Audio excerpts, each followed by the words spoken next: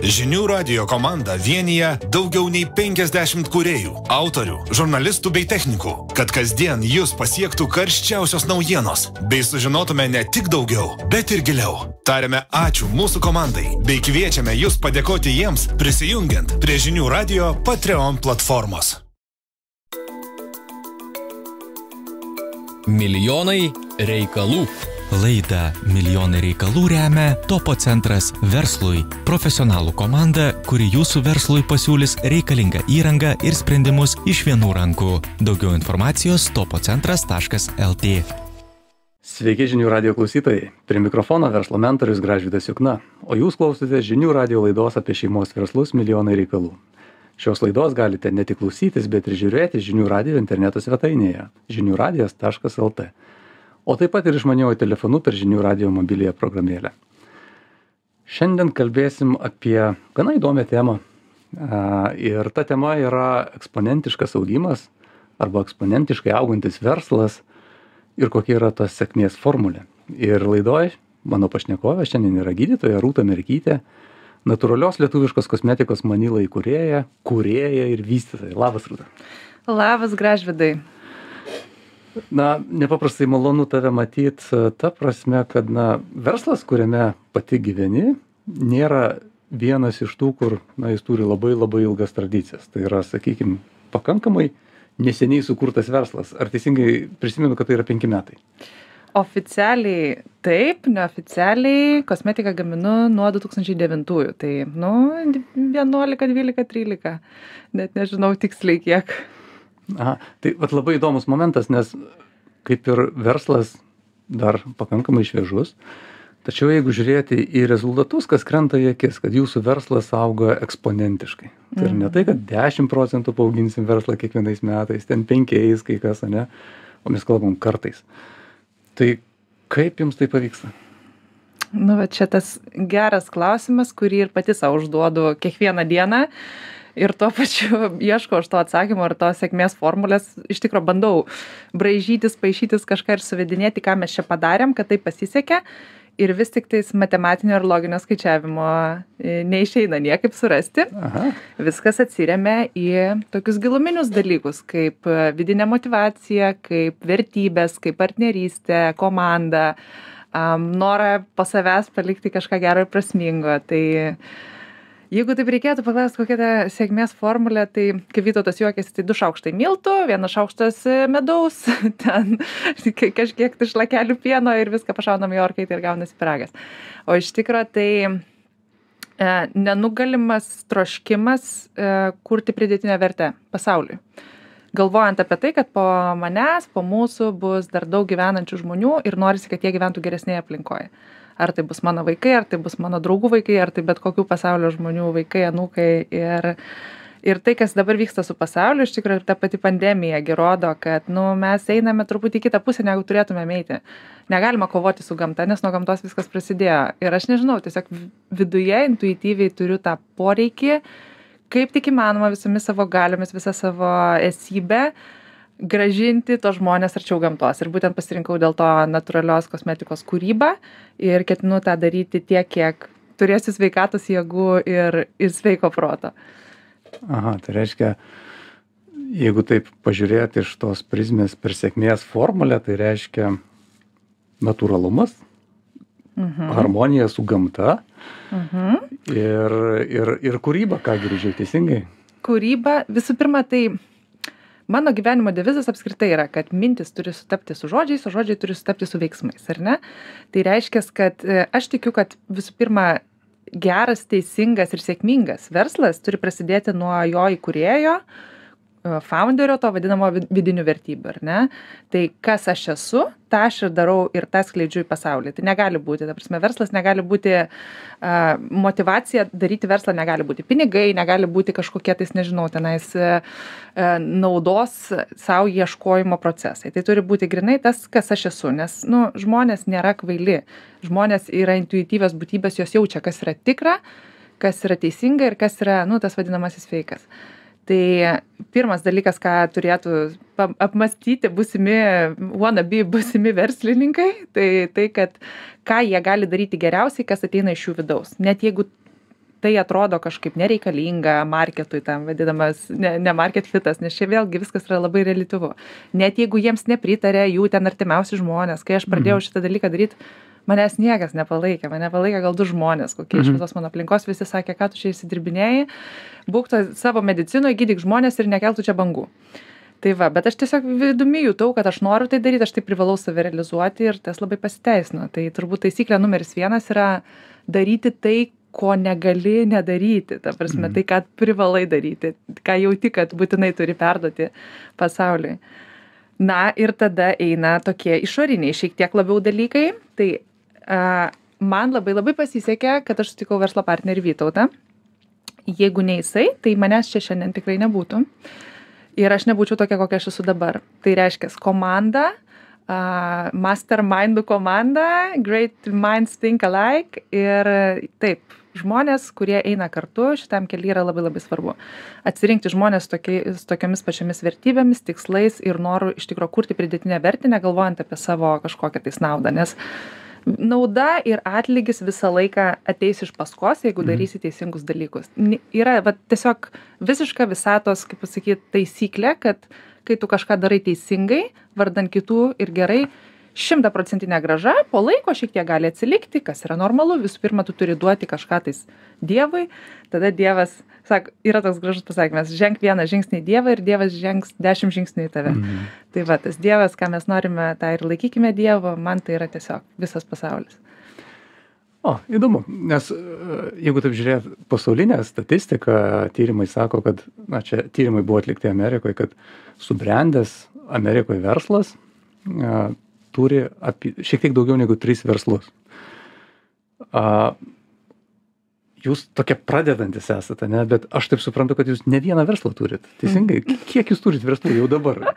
Gal čia irgi yra vienas iš tų dalykų, va, tas veržlumas toks a jo čia yra toksai klausimas kuris iš tikro paskutiniu metu šiek tiek neduoda ramybės nes iš tikro nebežinom ką daryt nes i patys net nepastebėjom kaip per šituos penkis metus susikūrė tų tokių tikrai subverslų versliukų tų pavadinkim maniloje. Tai be to kad mūsų pagrindinis e, e, pajamų šaltinis ir ir pa pagrindas viso verslo yra manila natūrali kosmetika tai šalia mes dar turime manila spa veiklą manila klinikas private label tai baltos etiketės paslaugas mes galim gaminti Taip. užsakomąją gamybą turime maisto papildus turime darbą su Turi. kosmetikos profesionalais tai yra penki.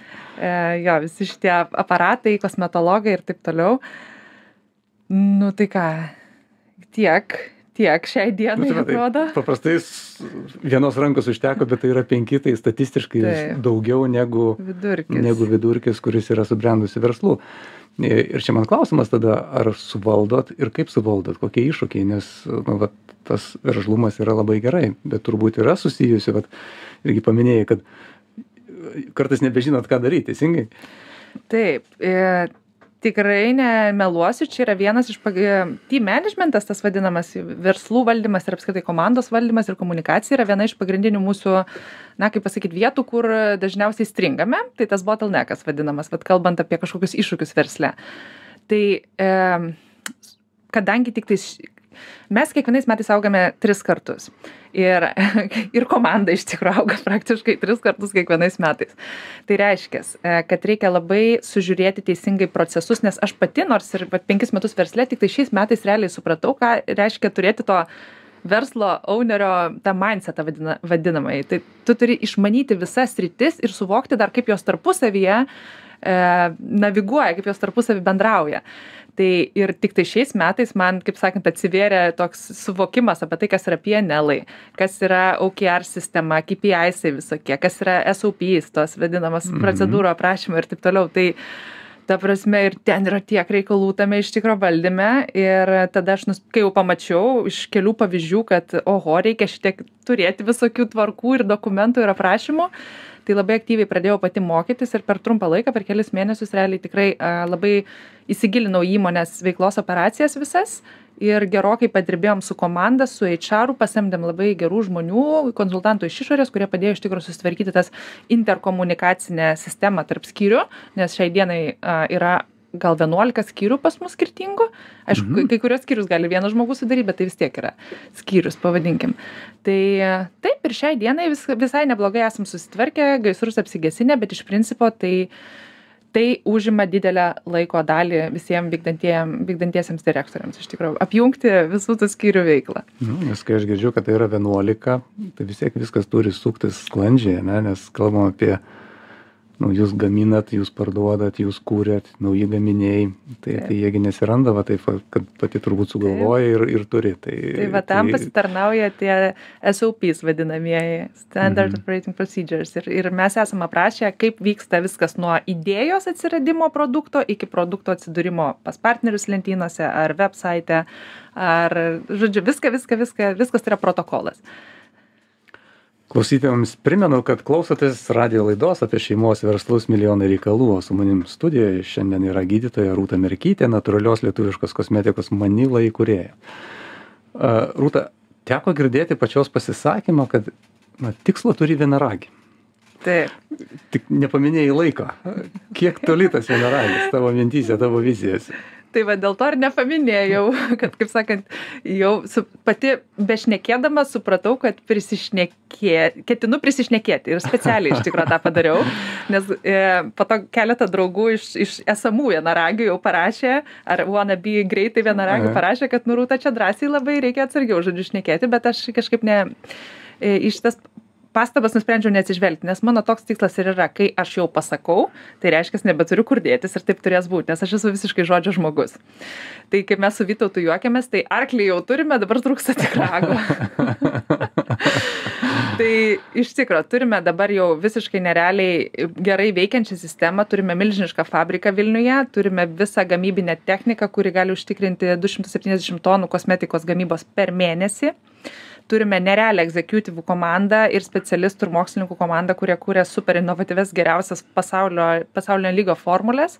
Turime tiekėjus iš viso pasaulio, su kuriais turim jau patikimą partnerystę ir galimybės gauti in- inovatyviausius geriausius ingredientus už geras kainas. Žodžiu, visa, viską. Veikianti sistema, mašina yra, dabar belieka tik tais skeilas tas vadinamasis, o skeilui reikia gerų strategijų. Tai va čia yra šiek tiek vietos, kur e, ateinančių laikotarpių ketinam dirbti. Iš tikrųjų jau yra faktas, kad turime planų, tikslų ir strategijų. Tai va dabar tik tais e, laiko tame vadinamajam timeline, kaip išsidėstis tas mūsų vienaragio tikslas, aš nežinau, bet e, optimistinis tikslas per tris metus. Bet optimistinis, nenoriu čia. Čia jau šiek tiek duodu savo daugiau erdvės interpretacijai. Tarp, tarp trijų ir septynių metų tikiuosi būti vienaragis.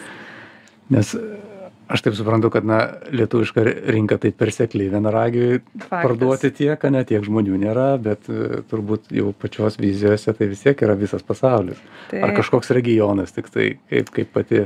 Tai Pasa, pasaulio regionai, gal taip pavadinkim. Faktas, kad yra didžiosios rinkos, kur yra lengva pakankamai skailinti, jeigu turi gerą market fitą, yra sudėtingesnės dėl kultūrinių skirtumų rinkos, e, bet mes turime, vėlgi mes pasiruošę skirtingas strategijas. Aš esu žmogus, mėgstu labai rizikuoti, e, all in daryti, bet vis tik tais turiu backup planą visą laiką. Planą B, planą C, planą Ž.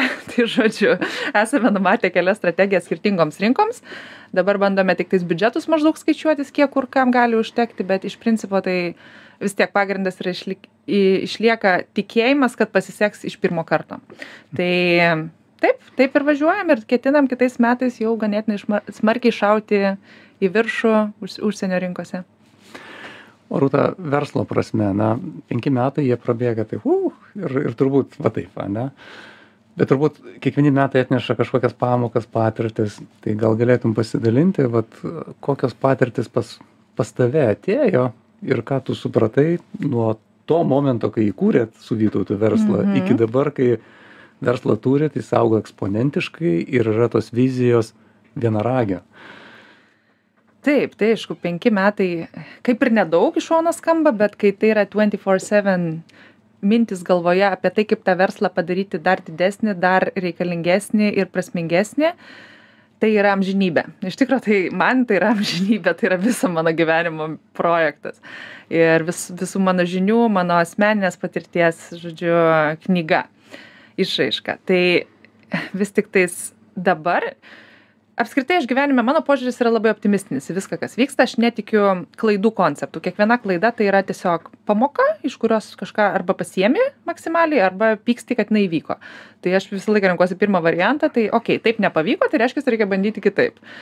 Ir nors ir buvo tam tikrų tikrai niuansų tokių tų vadinamųjų low periods kai būdavo ir sunku ir liūdna ir ir nervuodavo viskas minčių apie kažkokį užsidarymą ar veiklos nutraukimą niekados nebuvo nes Mhm. iš principo visą laiką tas optimistinis noras važiuoti į priekį plius sakau ta vidinė aistra tas toks obsešinas už apsėdimas kad darai nerealų produktą ir kad reikia jį duot pasauliui nes tai yra taip gerai kad visi privalo jį turėt visi turi turi turi teisę išbandyti kas yra tikrai gera kokybė ir kas yra naudinga gamtai ir mum visiem tai va tai bet vis tik jeigu taip žvelgiant į vis visą tą penkių metų taimlainą tai supratau tokį dalyką ko anksčiau galbūt ne tiek vertinau. Kažkaip įsivaizdavau kad visi žmonės yra kad užtenka tų proto resursų net nežinau kaip pasakyt intelektualinių resursų nesureikšminau kompetencijų svarbos. Dabar kai yra iš tikro atskiri skyriai ir labai atskiros kryptys veiklos finansai eičeras pardavimai operacijos ir taip toliau suprantu kad reikia iš tikro e, didelė užduotis yra susirinkti gerą komandą. Va būtent kompetitingą komandą. Ir gaunasi, kad aš pati tai neturiu jokio verslo backgroundo, aš esu Mhm. gydytoja ar ne, bet tiesiog gavos taip gyvenime, kad aš tokia veikli ir labai smalsi viskuo domiuosi, dėl to gavausi tokia, nu, antrepreneriškos prigimties, e, žodžiu, verslo ownerė, pavadinkim. Tai, bet aš nesu specialistė, aš nežinau nei vienos ryties, nesu gerai įsigilinus apart R&D, bet ir tai jau dabar mano R&D komanda žino daug daugiau negu aš žinau, nes jau jos, jos tame gyvena ir dirba, aš jau jo to, se- senokai to nebedarau. Tai žodžiu, e, specialistų iš tikro kompetencijos, surasti tikrai žmonių intelektualių ir protingų ir kurie dega savo, savo va ta veikla, kurią, kurią mokosi, kurią nori Mhm. mokėti. Tai, vis tik turiu pasakyti, kad žmonės tokie šiek tiek primigę lunatikai, kai kada būna daug, nemiela man taip sakyti, nemalonu, bet iš tikrųjų per mažai žmonės iš savęs tikisi ir per mažai Mhm. savęs spaudžia. A, per maža gal savivertė, kad domėtis plačiai ir daug ir yra pakankamas iššūkis mūsų rinkoje susirasti gerų specialistų ir juos dar prisitraukti. Tai ačiū Dievui, kad sekasi gerai, šiai dienai turiu nerealią executive komandą ir labai labai labai ją džiaugiuosi ir mes toliai eisim su ja. Bet vis tik dabar mano, kaip sakant, visą laiką yra visur geltona vėliavėlė stebėti, kaip žmogus iš tikro, iš tikro suvokia procesus, nes tai yra, tai yra skilsas, tai yra kompetencijas, kurias reikia ugdyti. Tai vienas toks dalykas, žmonių tas rekrutinimas ir hairinimas ir susiradimas gerų specialistų, vat, kas dabar aktualu, aktualiausia visą laiką vykdant procesus. Ir kitas dalykas, vat, kaip ir kalbėjom pradžioj, procesai iš vidaus. Kada tu augi, nori, nenori, nu, negali, e, kaip sakant, vordė, vordė vestis visų apskaičiavimų planų ir taip toliau Mhm. atsiranda visos struktūros, visos operacijos, visi protokolai, visi SOPs, e, visokie managemento toolsai, e, visi, reiškia, kalendoriai, skambučiai, ta prasme, ta visa struktūra, kur turi idealiai visi, visi skyriai ir visi žmonės komunikuoti. Atsiranda susirinkimai, susirinkimas ant susirinkimo, one on one, komandiniai, tarp skyriniai ir taip toliau, ta prasme, ta visa matrica nu ją tikrai reikia labai labai e, padaryti aiškią patogią pritaikytą adaptuotą. Ir mes tą darom mes patys su išoriniais konsultantais šiek tiek kurie mum padeda. Tai ačiū dievui kad irgi viskas yra labai gerai nes mes su vytautu tiesiog abudu labai gerai išmanom tuos vidinius procesus nes abudu dalyvaujam verslo valdyme kaip ouneriai bet kiek teko domėtis jeigu samdant žmogų iš šalies konsultantą kuris sudėliotų tau visą tą tvarką vidinę tai ir užtrunka labai ilgai ir kainuoja labai brangiai. Tai reiškias tai yra įmonėm tikrai nu labai labai svarbus dalykas gerai išsigvildenti tą tarpskyrinę komunikaciją kad nebūtų klaidų tai va du tokie dalykai tai yra komanda ir komunikacija Jo, ir, ir aš tikiu, kad jūs irgi turit savo kažkokį išskirtinumą visuose tuose procesuose, nes, nu, paprastai, gi, net jeigu aprašysi procesą tam tikro įmoniai, tai gali tiesiog neveikti, nes žmonės veikia kitaip. Tai Taip. turbūt vat, jūsų komanda ir yra ta, kuri tokia kūrybinga ir galbūt va, dėl to ir yra ta sėkmė tokia, kad, nu, kad jūs dirbat, ta intuicija yra didžiulė, einat, bendraminčiai, suradot viens kitą ir pritraukia tos talentus, kurie veda ir, ir daro taip, kaip jums reikia. taip tikrai visiškai to pritariu kuo toliau tuo labiau atsiveria tas toksai sunkiai apčiuopiamas ir įvardijimas bet įvardijamas bet kaip ir sakau tuo labiau atsiveria tas šeštasis jausmas versle vis tiktais tai yra irgi kažkoks į, į skilsas, kurį gali išūkdyti žmonės, bet tiesiog labai sunku jį apibūdinti, nes jis neturi jokio mokslinio pagrindimo.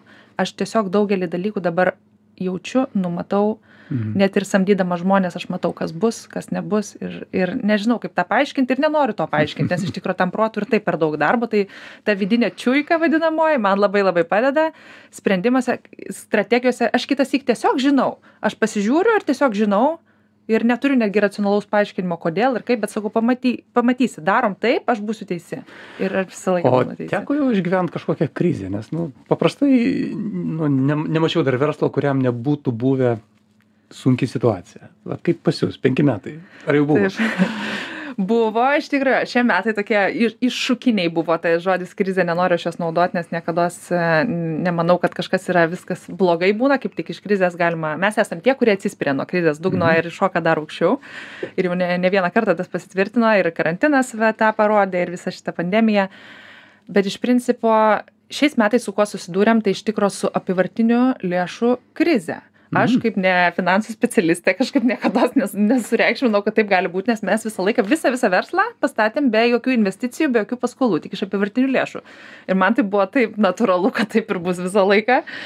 Ir šiais metais mes iš tikro nepasiskaičiavom savo balansų iš anksto pakankamai. Ir įvyko taip kad netikėtai gavom labai gerą pasiūlymą įsigyti tą pastatą. Tai tiesiog už nerealiai gerą kainą gavome superinį pastatą vilniaus mieste ir reikėjo priimti sprendimą labai greitai per savaitę.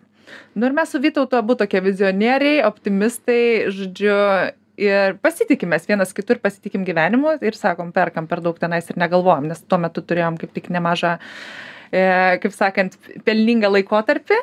Ir mes susitvarkėm dokumentus įsigijom tą pastatą be abejo su bankine paskola nes šiais laikais neįmanoma nusipirkt pastato be paskolos tai va ir viskas viskas gerai. Ir tada prasidėjo kad žodžiu kažkokie neužbaigti reikalai iš anksčiau kažkur tais kažką tais ir tikrai apyvartinių lėšų pradėjo trūkti juo labiau kad pradėjom dirbti su partneriais intensyviai kurie atideda mokėjimus po devyniasdešim ar šimtą dvidešim dienų žodžiu tai vat truputį stresiukas buvo negaliu to pavadint krize bet tiesiog pradėjom labai labai aktyviai skaičiuoti pradėjom riboti kai kuriuos resursus kurie ne nebuvo tokie būtini įmonei viskas gerai išlipom susitvarkėm pamoka visam gyvenimui kad skaičiuoti vis tiktais reikia nu va tai puiki pamoka. Tai aš linkiu jums auginti tą vienaragį tegul auga ne tik ragas bet ir sparnai. Matai o mes lietuviai turbūt tik tiktai pasidžiaugsim jeigu bet kurioj pasaulio šaly surasim manilos prekinį ženklą ir galėsim jį nusipirkti ir džiaugtis kad dar vienas geras prekinis ženklas yra pasauly.